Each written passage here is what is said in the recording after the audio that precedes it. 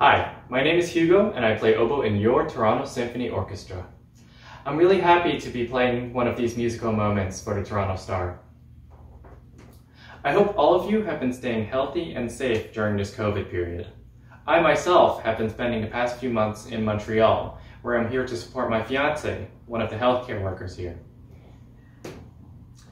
I really do miss home though.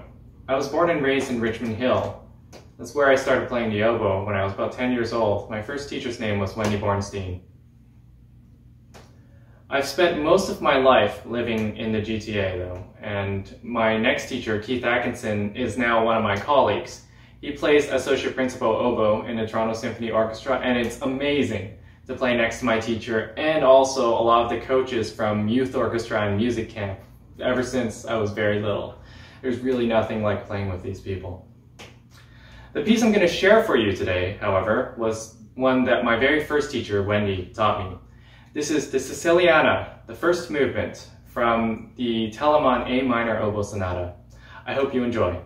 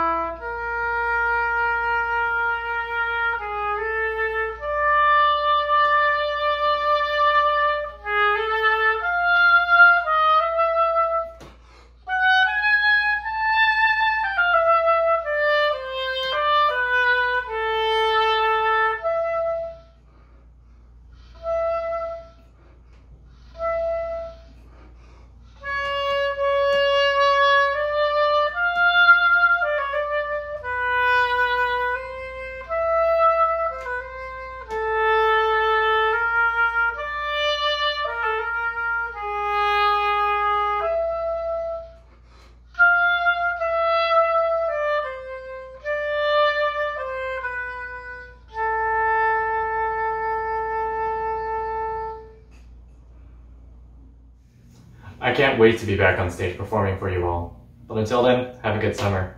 Thanks for listening.